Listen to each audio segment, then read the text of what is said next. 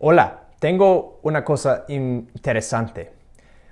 Oímos de la carta de, a, los, de los hebreos hoy y ayer también. Pues vamos a oír de esta carta, este libro, por todo el mes. Y más, yo no sé.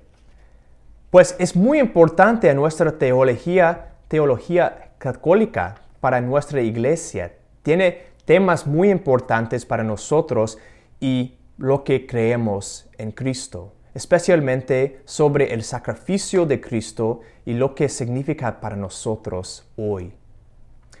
Y eh, los, eh, el libro, la carta de los hebreos a los hebreos no es una carta, es más como una homilía para hablar esas palabras.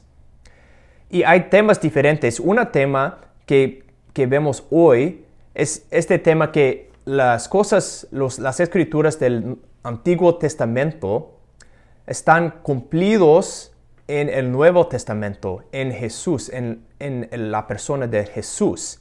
Pues vemos esto hoy porque el autor de la carta, la homilía a los hebreos, ah, se refiere al Salmo 8 y dice, ah, ¿Qué es el hombre para que de él te acuerdes? Ese pobre ser humano para que de él te preocupes. Sin embargo, lo hiciste por lo hiciste un poquito a los ángeles, lo coronaste de gloria y dignidad. Todos los sometiste bajo sus pies.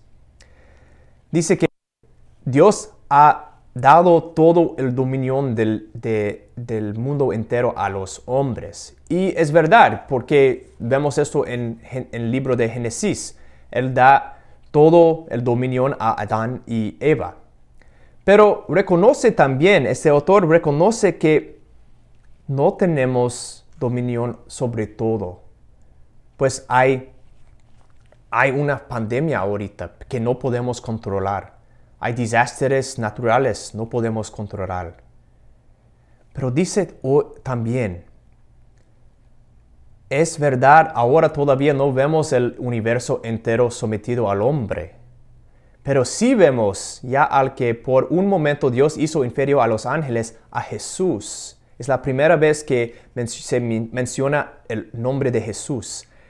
Porque haber sufrido la muerte, y Él está coronado de gloria y honor.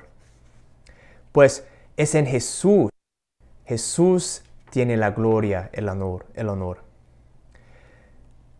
Pues es verdad, no tenemos ese controlar, pero Jesús está coronado de gloria y honor, porque Él sufrió en el bien de todos.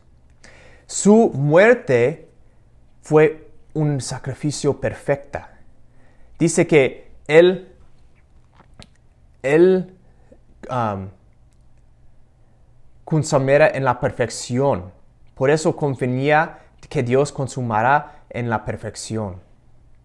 Y también por nosotros podemos ofrecer nuestros sufrimientos, nuestros dolores con los sufrimientos y el sacrificio de Jesús. Y en esto somos perfectos. En eso somos perfectos. Pues hoy podemos ofrecer nuestros dolores, nuestras ansiedades, nuestros, nuestros sufrimientos con el sacrificio de Jesús. El perfecto sacrificio que nos vemos en el altar, en la misa.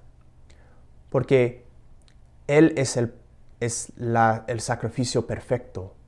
Podemos ser perfectos con Jesús. Y un día por eso podemos vivir con Jesús en los cielos.